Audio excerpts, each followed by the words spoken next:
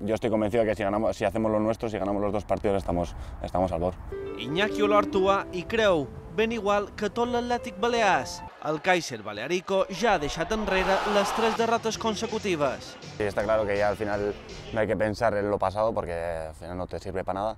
Y ahora tenemos que pensar en, estas dos, en estos dos partidos que no queda más, en los últimos partidos de la temporada y, y a ganar. Per afrontar aquestes dues finals contra Calahorra i la Societat Esportiva Logroñés, el central basc té ben clar quin ha de ser el missatge dins el vestidor. Intentar estar tranquilos, eh, estar animados con men- mensajes positivos y nada, y trabajar, que es lo único que, que sirve, trabajar durante la semana, preparar bien el partido del Calahorra y ya por la victoria.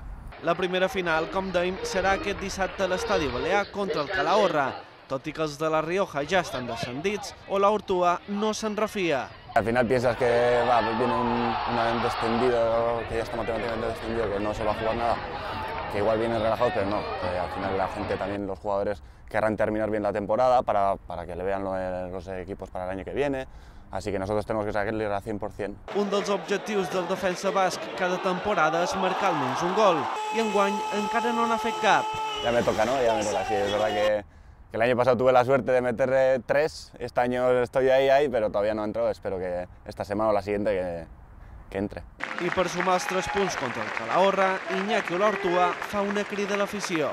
Yo creo que tenemos que estar todos unidos, la afición, jugadores. Espero que este sábado es un horario bonito para la afición. Espero que vengan. Al final es el último partido también en casa y ne- necesitamos ese último empujón para, para poder salvarnos.